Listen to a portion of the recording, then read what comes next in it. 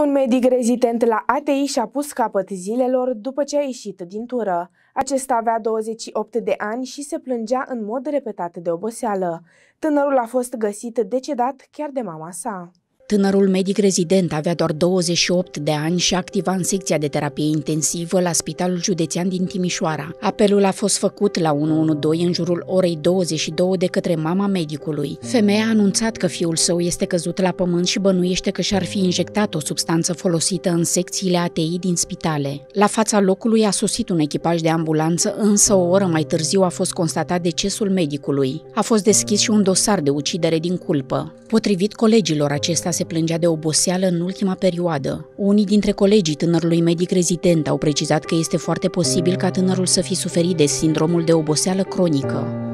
De tragedia ce s-a petrecut uh, uh, pentru un coleg uh, de al nostru medic rezident pe secția de anestezie și terapie intensivă, uh, acesta a fost uh, găsit în stare de inconștiență de uh, un echipaj smurd în jurul uh, orei 6 în această dimineață din informațiile pe care le avem. Din păcate, manevrele de resuscitare au uh, eșuat, iar acesta nu a mai putut fi salvat. Vreau, în primul rând, noi, ca și colectiva Spitalului Județean, să ne exprimăm nu doar regretul, ci condoleanțele pentru familia acestui domn doctor.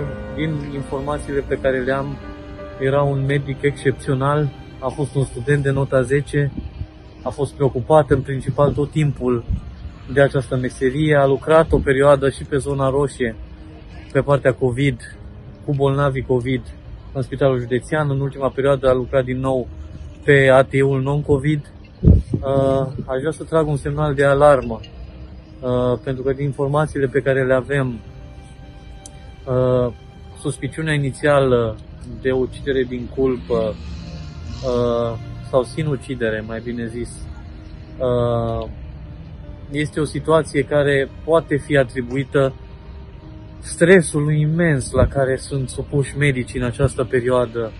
Uh, să nu creadă cineva că dacă noi suntem medici, suntem Dumnezei sau nu avem trăiri emoționale sau vieți personale sau probleme de sănătate. Vedeți dumneavoastră, după un an de zile de luptă cu această boală, indiferent de indiferent de, de, de specialitatea pe care o au medicii, indiferent, indiferent de, de experiență, uh, dacă lucrezi și 24 de ore pe zi, da, după o gardă, dacă știi că ai făcut tot ce ai putut și totuși un pacient moare, fie că este mai ales în această perioadă de COVID, pentru că au fost foarte mulți, fie că este de altă patologie, asta nu înseamnă că pe ei nu îi afectează ei afectează enorm, pentru că sunt oameni. Sunt oameni la fel ca toți ceilalți.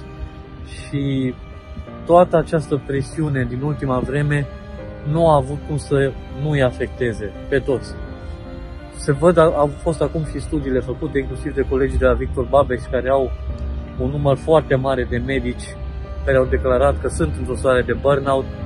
Deci este evidentă presiune asupra nu asupra sistemului sanitar, asupra oamenilor din sistemul sanitar, pentru că toată lumea vorbește despre medici, asistente, dar uităm că în primul rând ei sunt oameni.